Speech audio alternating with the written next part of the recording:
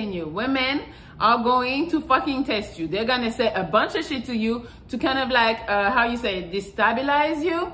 And then once they do that, well, they decided, oh, he's not strong enough. He's not confident, so I don't want him. You cannot allow